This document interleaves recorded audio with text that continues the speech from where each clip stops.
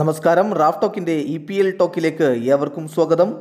English premier ലീഗിൽ ആർക്കും പിടിച്ചുകെട്ടാനാവാതെ Liverpool കുതിപ്പ് തുടരുകയാണ്. ഇന്നലെ നടന്ന മത്സരത്തിൽ അവർ ഏകപക്ഷീയമായ ഒരു ഗോളിന് ടോട്ടനാം ഹോട്ട്സ്പറിനെ വീഴ്ത്തി. ബ്രസീലിയൻ സൂപ്പർ താരം റോബർട്ടോ ഫെമിനോയാണ് ലിവർപൂളിന്റെ വിജയ ഗോൾ നേടിയത്.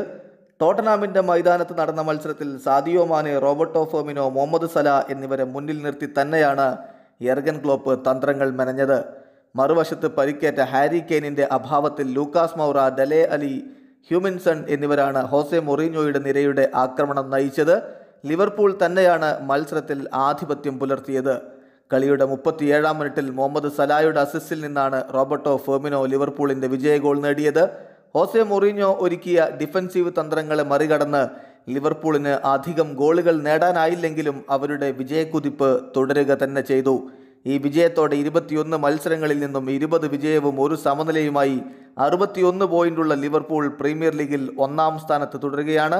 രണ്ടാം സ്ഥാനത്തുള്ള ലെസ്റ്റർ സിറ്റിക്ക് ഇരുപത്തിരണ്ട് മത്സരങ്ങളിൽ നിന്നും നാൽപ്പത്തി അഞ്ച് പോയിന്റ് മാത്രമാണുള്ളത്. ഇരുപത്തിയൊന്ന് മത്സരങ്ങളിൽ നിന്നും നാൽപ്പത്തിനാല് പോയിന്റുള്ള മാഞ്ചസ്റ്റർ സിറ്റിയാണ് മൂന്നാം സ്ഥാനത്ത്. ഇന്ന് നടക്കുന്ന മത്സരത്തിൽ ആസ്റ്റൺ വില്ലയെ പരാജയപ്പെടുത്തുകയോ സമനിലയിൽ പിടിക്കുകയോ ചെയ്താൽ സിറ്റിക്ക് രണ്ടാം സ്ഥാനത്തേക്ക് കയറാം. ഈ വീഡിയോ അവസാനിക്കുന്നു. ഫുട്ബോൾ ലോകത്ത് കൂടുതൽ വിശേഷങ്ങളുമായി റാഫ് ടോക്സ്. വീണ്ടും എത്താം.